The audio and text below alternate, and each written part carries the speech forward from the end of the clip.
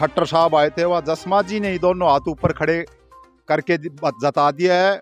वोटरों को भी ये नालायक बेटा मेरे जीतने के लायक नहीं, ये दोनों हाथ है, इस पे निगाह कर लो। जब उनकी माता जी भी जिताने के लिए नहीं है तो भव्य को जीतने के लिए कहाँ से कोई ये बेटा जो जैसा अपनी माता के साथ इस कुलदीप ने जो बर्ताव कर रखा है ना, ये अच्छी तरह से माता जी जानती है। वो तो उनकी नब्बे साल की मजबूरी है, बेचारी को लिए फिर रहे, घसीटते फिर रहे।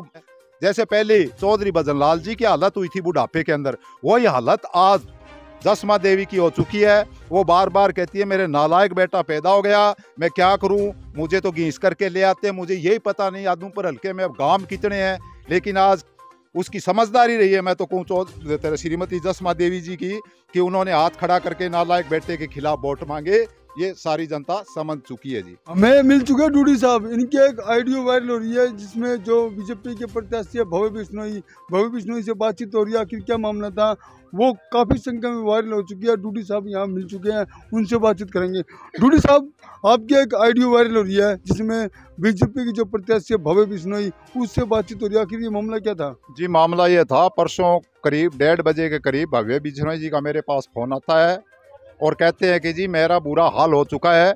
आप किसान नेता भी रहे हो, आप अच्छे मतलब वर्कर हो, गाँव में अच्छी आपकी पोजीशन है तो आप यूँ करो, मैं आपके घर मेरे को चाय पिलाओ तो मैंने कहा जी, चाय मैं किस लिए पिलाऊँ? मैं तो जयप्रकाश जी के साथ जुड़ा हुआ हूँ, पहले से तन मन धन से उनकी मदद कर रहा हूँ, लेकिन चाय मैं किस बेस पे पिलाऊँ? पाँच महीने हो गए हैं, चौधरी कुलदीप बिश्नोई जी को इस्तीफा दिए। क्या सतबीर डूडी जो आज पाँच महीने के बाद याद आया? और अब जब चुनाव डिक्लेयर हो गए थे, उसके बाद तक नाम तक नहीं लिया सतबीर डूडी कौन है, फ्रांसी गाँव कहाँ है, फ्रांसी के वर्कर कहाँ है, और आज जब ऐसी सितत्ती आ गई, बिल्कुल हारने के कागार पर हो गए आप, आज आकर के मेरे से हाथ जोड़ रहे हो, पाँव पकड़ रहे हो कि सतबीर जी, मेरा प्रोग्राम करो, मुझे चाय पिलाओ, नहीं तो मेरा बुरा हाल हो चुका है तो चाय के नाम पे मैंने अच्छी तरह से उनसे कह दिया, जी, अब की बार तो आप काम साथ नहीं दे सकते लेकिन आगे हो सकता है दो हज़ार चौबीस में जब आप इतनी मंतना कर रहे हैं तो हो सकता है हम आपकी लेकिन अब हम आपकी कोई मदद नहीं करेंगे जी।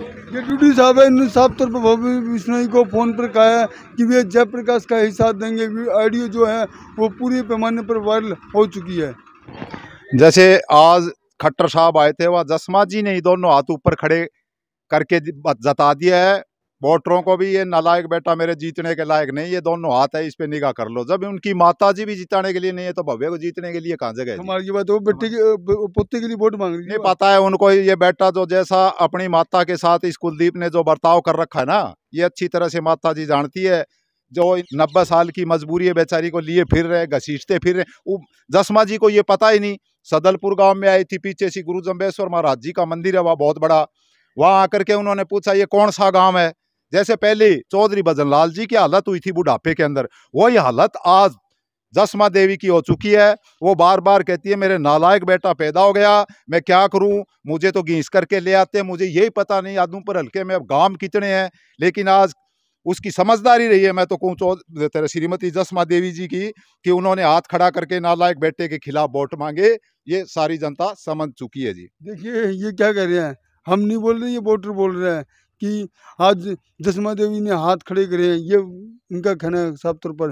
लेकिन आपको बता दें कि मतदान के दिन ही पता चल पाएगा आखिर क्या होता है। लेकिन फ़िलहाल की स्थिति यहाँ की ये बताई जा रही है कि जयप्रकाश की तरफ़ माहौल होता नज़र आ रहे हैं।